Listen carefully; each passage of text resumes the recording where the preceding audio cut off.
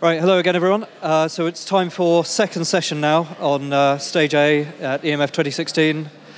And uh, we're continuing on the subject of video games. And I'm happy to introduce Catherine Flick, who's going to be talking to us about morality in video games. So, um, yeah, take it away, Catherine. Thanks.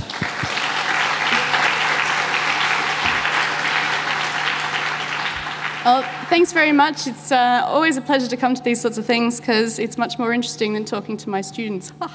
um, anyway, um, I'm uh, here today to talk to you about ethics in video games, um, and uh, this is because this is basically one of the things that I do. Uh, my boss calls it my hobby research, so um, I really like my hobbies. Um, so anyway, I thought I'd come and talk to you a little bit about uh, kind of a bit of the st- state of the art's a difficult word for this sort of thing because it's a bit of a mixture of philosophy, sociology, um, what I like to call responsible innovation, uh, and also um, just straight up kind of good old fashioned uh, gameplay and fun with games and stuff like that. Um, but I would like to say that I am theoretically, I, would like to call myself a, um, a, computer ethicist, a technology ethicist, and one of my specific areas of interest is in video games and ethics. Um, uh, often the word ethics tends to make people go a bit, uh, what does that like? Um, am I doing the wrong thing? And, and all this. I'm not here to judge anybody. Um, I don't like judging people. I think that's kind of not what my role is what my role is as an ethicist is to get you thinking about your own behavior and how you interact with people and how you design games that, and interact with people. Because the thing about society and technology is that we create technology, but technology has a significant influence on us and our society as a whole. So it's really important that we get this, this sort of loop working in a nice, forward, progressive way um, and that's where the ethics kind of comes in, uh, rather than perhaps potentially uh, toxic environment type way, as the previous uh, talk speaker was um, discussing. So, um, actually, I really liked that previous talk because I'm going to talk a little bit about some of the things that were in that as well, but not on quite the same detailed level. But it all works into this magical thing. So, um, you, when you play a game, you, are, you never just play a game. You never just sit down and play a game you are actually an ethical agent because you're a thinking, uh, feeling human being, and you are acting within a particular socio-cultural uh, um, uh, within context. I wrote contact there, but I meant context. that interacts with a particular simulation, which is the game. And therefore, this simulation and the interaction with this simulation can actually have a significant effect upon you. Uh, there's the direct interaction that you have with the game, so the actual mechanics of the game. Uh, and that's you as pl- the player of the game. So the, the mechanical interactions, the play. Then there's a higher level decision making about what it is that you do in the game that's based on your socio-cultural background, your upbringing, who you have as friends, uh, your education, your, you know, whether you like Leicester City or Manchester United. All these little tiny things kind of all influence you in your, um, uh, your higher level decision making about you, that makes you up you as an ethical agent agent. So, uh, to use some examples at the extreme ends of these sorts of ranges in, in, in terms of games that actually um, take into this, this into account, you have Tetris on one end, which is very much a, uh, a very, very towards the player end of things where you just interact with mechanics. Um, and then you have things like The Witcher 3 Wild Hunt, uh, where you are making a lot of decisions about how the story is going to be progressing, and it requires a lot more of the higher level stuff. So, this is kind of a, um, a talk that I'd like to just basically in, engage uh, developers and also gamers to think about how um, the interest and benefit and potential ethical challenge of games can be maximized, and also to make you think about well, what is it about these sorts of games that you enjoy? Um, how do you behave in games? Maybe you, instead of taking all the good um, routes in the next replay of the Witcher or whatever, you'll start thinking maybe you'll try something a bit different, um, or vice versa. So, what I want to do uh, to do this, uh, to go through a couple of these uh, examples of uh, ethical gameplay and, and ethical games is just give you a really, really, really brief history of morality engines a la BioWare because it's really easy to see how they've evolved um, because BioWare has been doing this for quite a long time now. I'm not saying that these are the best, necessarily the best methods, Um, but I want to go through basically um, the, the, the, fact that, that they've, they've evolved over time. So there's lots and lots of games in which decisions have consequences, and there are lots and lots of different mechanics and different methods to implement these different experiences. So you've got games where you can choose to be, kind of be a, uh, a good or a bad guy, like Knights of the Old Republic, Dragon Age, Fable, Mass Effect, all the Telltale games, pretty much. Uh, Xenoblade Chronicles, which is an interesting one. Life is Strange, The Witcher series, etc., etc., etc. And usually there's some sort of thing where you have um, like the decisions that you make in the game have some sort of impact upon you later on. So it might be how people react to you, how um, you might change physically in some way, like you might get like darker or veiny or something scary, uh, or have like an aura or something like that. And also usually means that there are different quests that are open to you um, if you're good or bad, so to speak. Um, so this basically, I want to go through this relatively quickly so I can get to the fun stuff. Okay, so this was the um, original Baldur's Gate series, and it pretty much had a classic Dungeons and Dragons type alignment system because it was pretty much based on Dungeons and Dragons systems. And um, as people who played with me last night in the Dungeons and Dragons workshop know, it's quite easy to kind of have difficult decisions based on your alignment. Um, Anyway, but they basically have a very basic alignment eh, um, thing, which you can see on the left, and there's also a reputation that you have, and that's basically uh, the, the, big red arrow is pointing at on the right. And the reputation um, has kind of a, a, a, level out, which is a number. This is the average reputation this guy has, which is 10. Evil is 8. Lawful good is, uh, sorry, chaotic evil is 8. Lawful good is 12. Um, and there's sort of all the things in between. Uh, low reputation characters, uh, so low reputation characters will have difficulty uh, with good non-player characters. So, for example, um, the companions may ask you to leave the part, may, may, ask, may, may leave the party. Um, but you can re- regain your reputation by donating money to priests, which is always a great way to like bribe your way in, I guess. I don't know. Um, and you can complete quests, which I guess is kind of a little bit more reasonable. But you lose your reputation by committing crimes and like you know murdering people, trespassing, and stuff like that. Um, if you're really low reputation, shopkeepers won't want you in their shops, so there's a fairly good incentive to not be bad. Also, if you run around some cities, you get ambushed by guards. If you're really low reputation, I guess you know your reputation precedes you in that case. Um, in Star Wars Knights of the Old Republic uh, and Mass Effect, I'm going to kind of put these together because they have a similar, uh, the original Mass Effects, the one and two, um, they have a similar sort of thing where you have basically good, bad.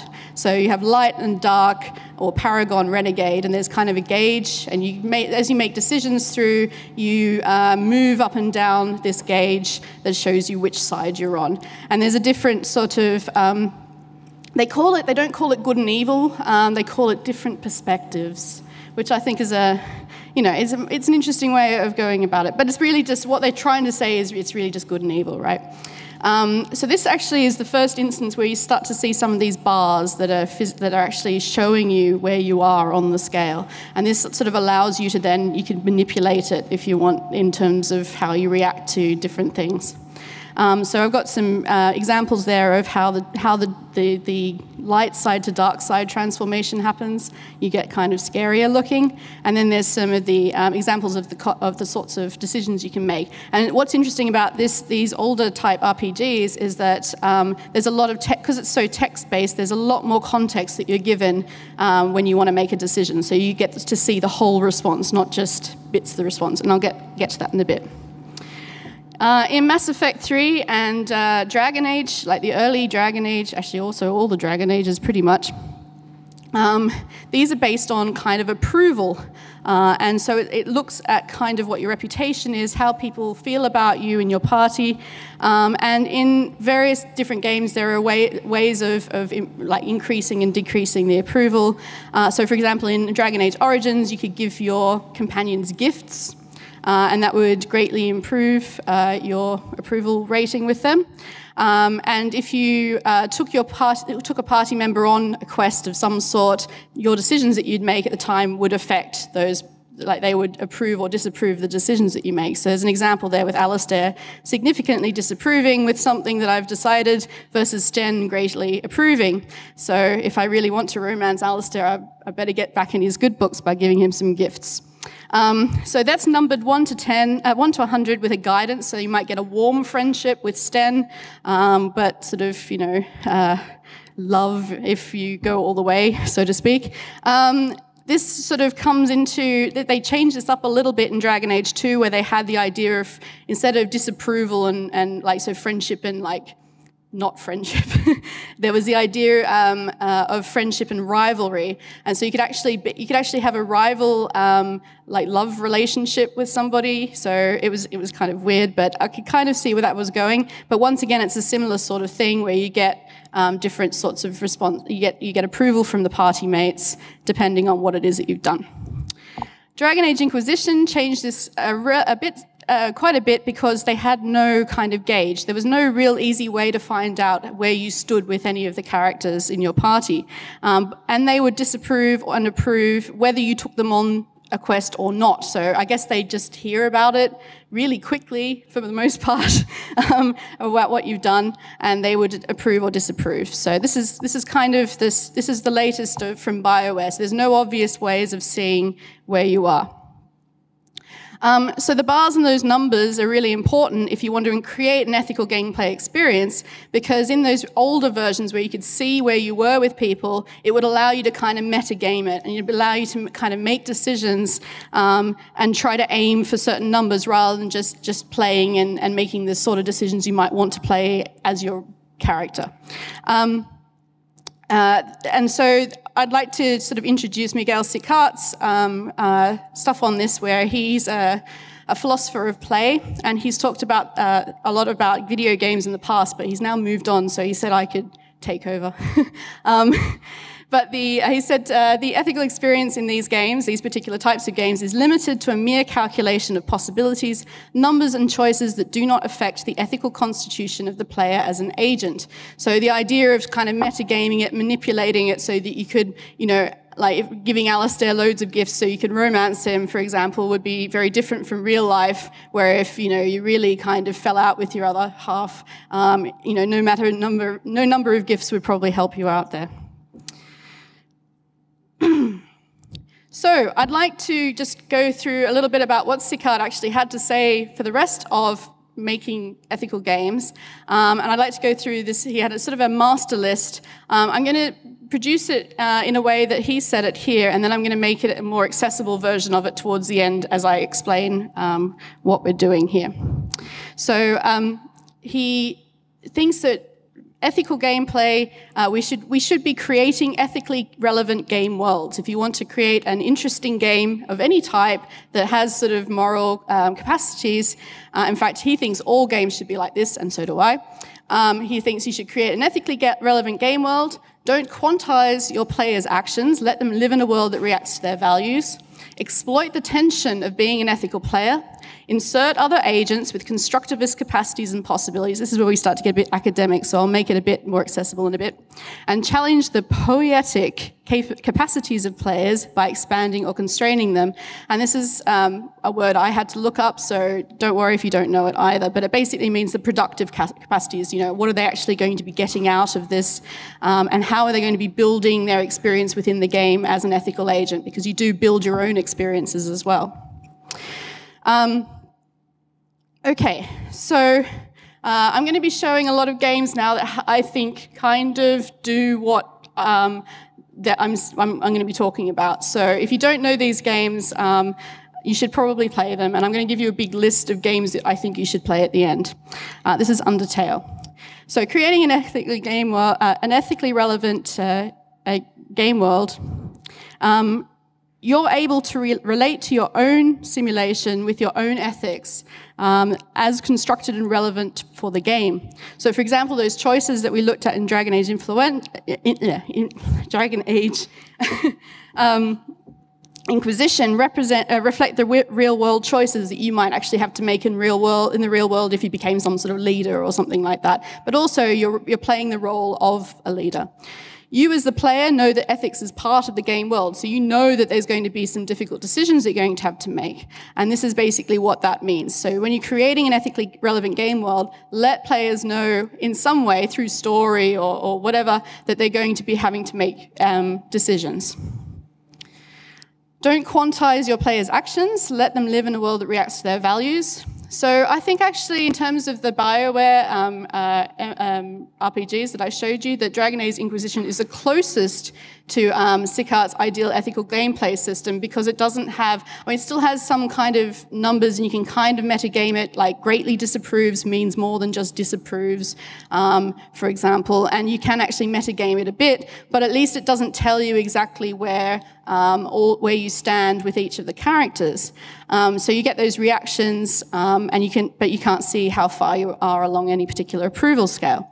However, uh, the reactions are still quantized, and you can look them up on the Dragon Age wiki, and you can work out exactly how many times it said greatly approves to someone and what that means.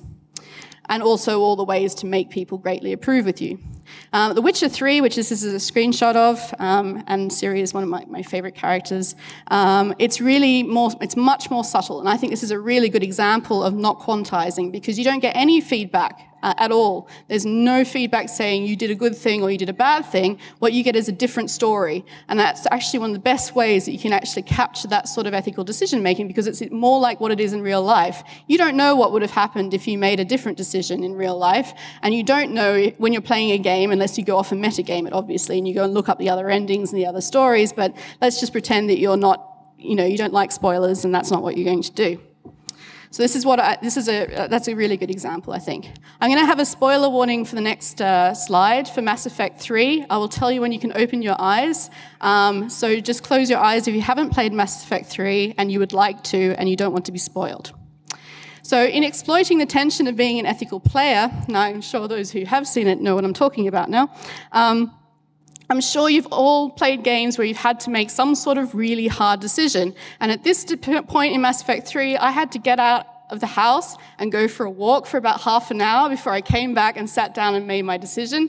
I'm not going to tell you what it was, um, but I'm sure you've, you've had that. So each year I go to PAX East and I have a booth there where I have asked people ethical questions and I get them to answer um, uh, um, questions about what they like in games and things like that. And one of the questions I asked them was, what game gave you all the feels and why? And this was one of the biggest games that came up for that, um, as well as many other games that had very difficult decision making in them. So things like Undertale, Ma um, Mass Effect like, uh, here, Walking Dead, Life is Strange, Dragon Age, Last of Us, Witcher 3, all of these games gave people massive feels. And I think if you're a game developer, that's something you probably want to be going for is some feels of some sort, like whether that's like just really strong uh, linkage between the player and the game. It means they're really relating to the characters too, which is great.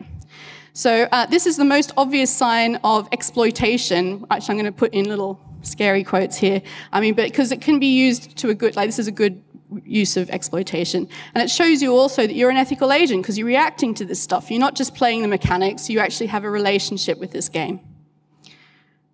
Okay, if you uh, like Mass Effect 3, if you want to play Mass Effect 3, you can open your eyes again now.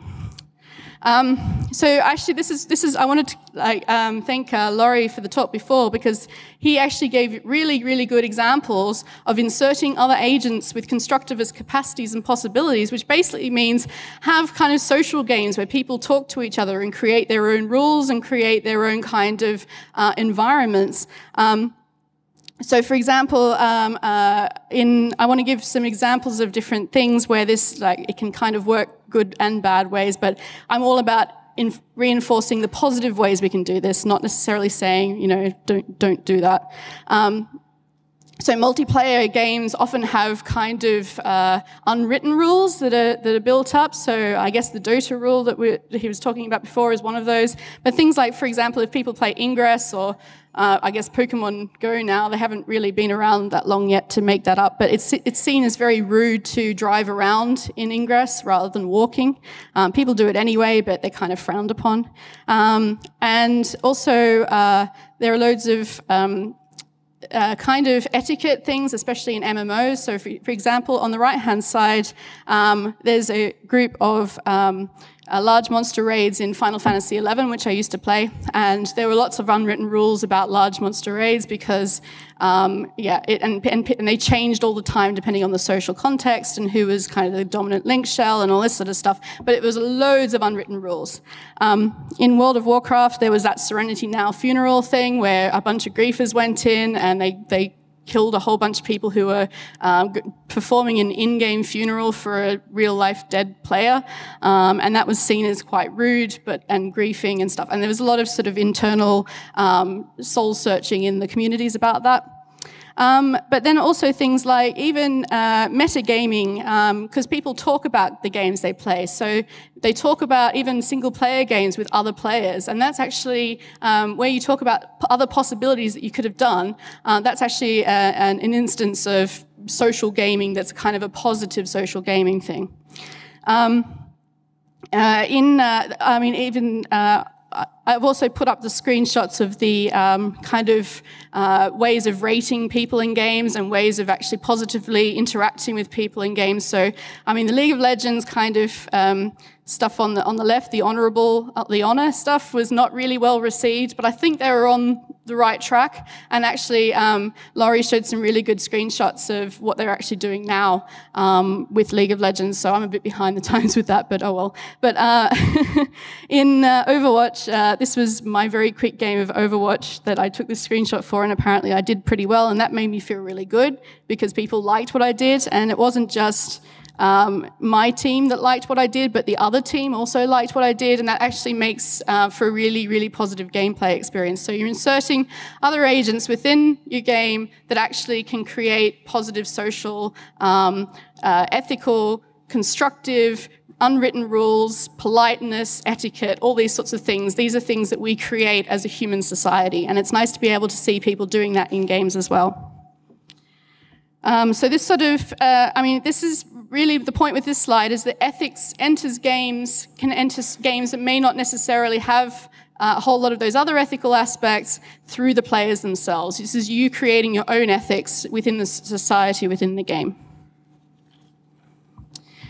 Um, challenging the poetic capacities of players. So this is a pretty difficult thing to kind of unpack, but really what this, um, what he's trying to say here is that um, if you're going to write some sort of Rails type game where you're telling a story and that's basically what you're doing, um, challenge the people that play them. Um, you can make um, you expand and like basically if you if you force people to think in certain ways make it so that it's an interesting ethical experience for them. Get them to make difficult decisions. So this is a screenshot from this war of mine where you have to kind of make a decision between you know giving someone some medicine or uh, going out and, and getting some food so you can eat um, and potentially that person dying stuff like that. They're very very difficult decisions that you have to make um, but it also cha- it challenges people to think about what their priorities are, you know, how they feel about the different characters, etc., etc. These are not necessarily fun games. Um, always sometimes monsters, papers, please. There are some really good examples of these sorts of games which really, really uh, challenge uh, players to, on, on how they think about the decisions that they make. This is another uh, really good game.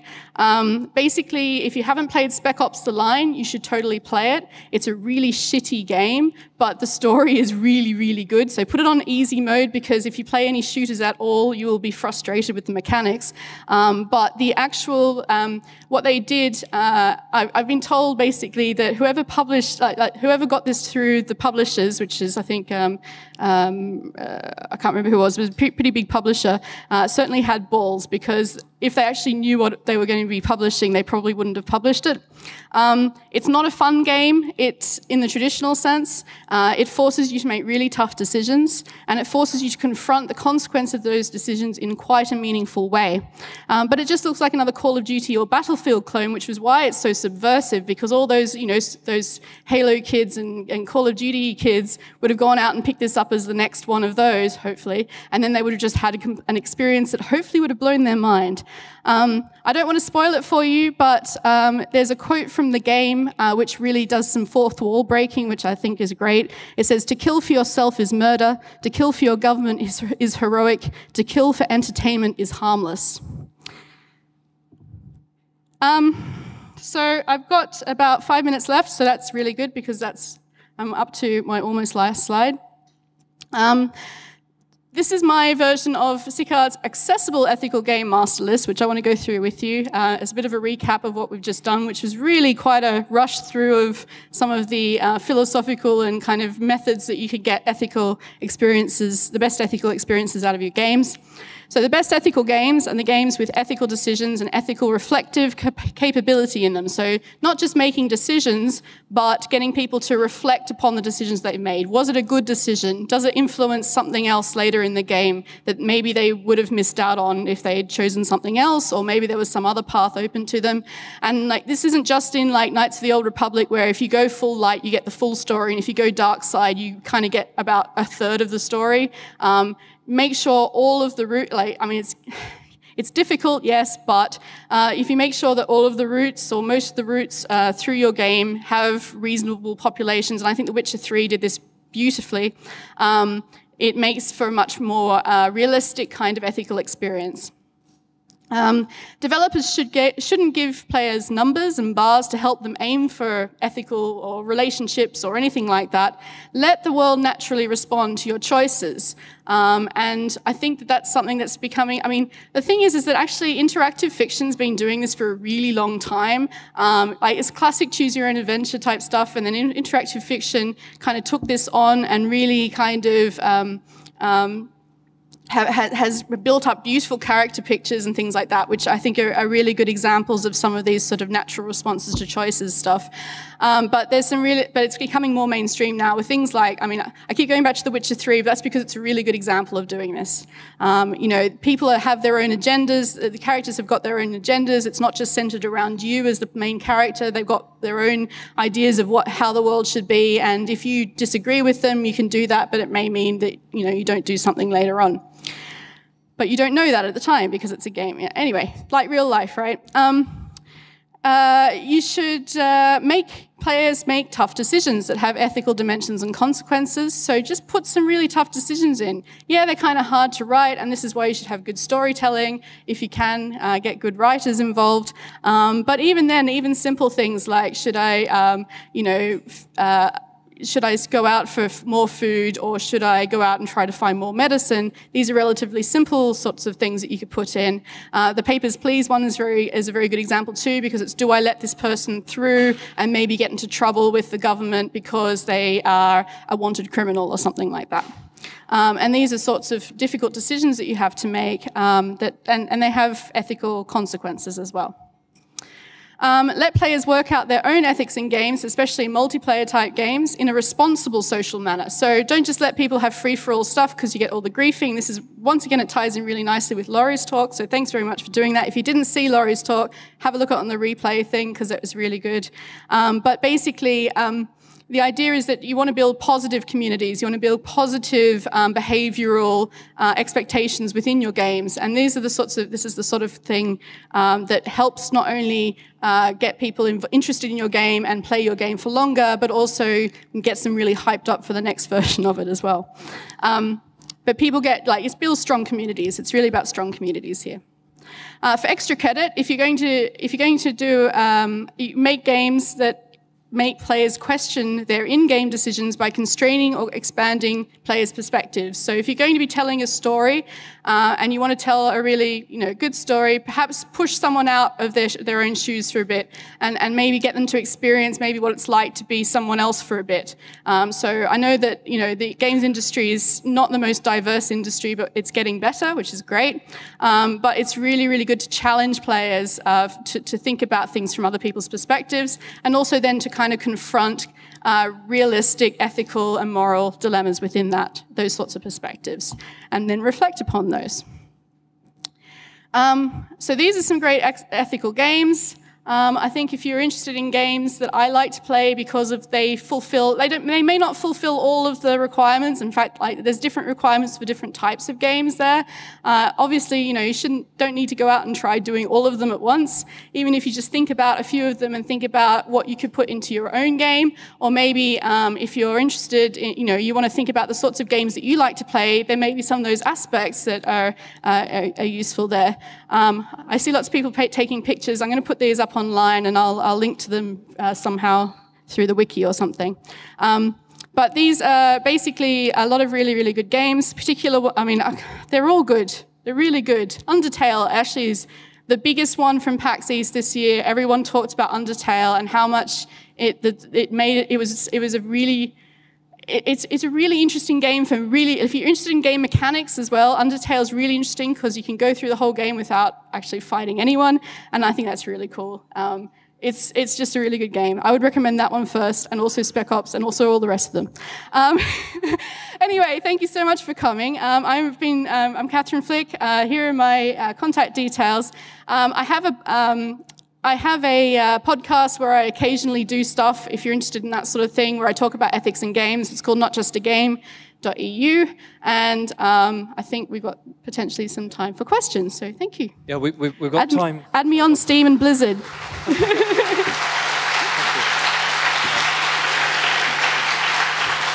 so we've, we've got time.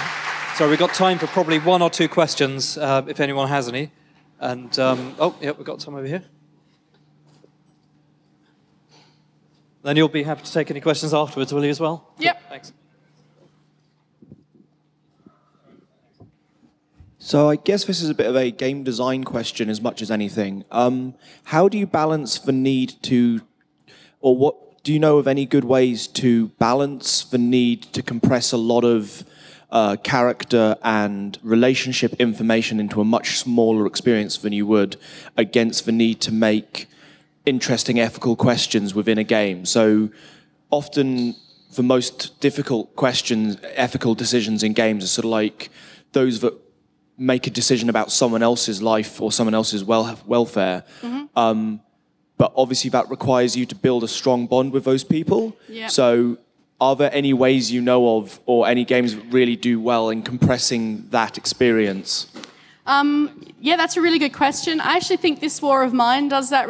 it allows you like that. You kind of bond very quickly. You don't know a lot about the people, um, but you bond very quickly with them. Um, Papers Please is another really good one. You actually you you have these characters that all you do is um, all you're doing is making decisions about other people's lives and also your own family's lives, really. Um, but you have a very um, short window in which you kind of get to know these people. But they they they do it. Um, Um, it's not it's not really really in depth. But what they do is they pick out the really important parts that you could like, need to know, like sort of motivational stuff, stuff stuff that's very empathetic. If you if you concentrate on the empathy side of things, like actually how um, how do people relate to other like I mean, it sounds kind of a bit wishy-washy, um, but I mean the, the main thing is is to make sure that they seem like real people um, and to make sure that they're able to be empathized with in some way. And I think that's the main. I mean, if you've got some sort of link uh, to something that like seems kind of, yeah, I mean, have a, if you have a look at those two games, I think they, they do that really well in short periods of time and not a lot of writing. So, yeah. Okay. Thanks. Um, sorry for time, unfortunately, because that was a longish question, which is great. Uh, no problem. But um, yeah, so we're, we're going to have to end there for the moment for questions. I know there are a couple more questions, but if you're happy to take those later, yeah, I'll be, out the back. so thank you very much, Catherine Flick. Thank you.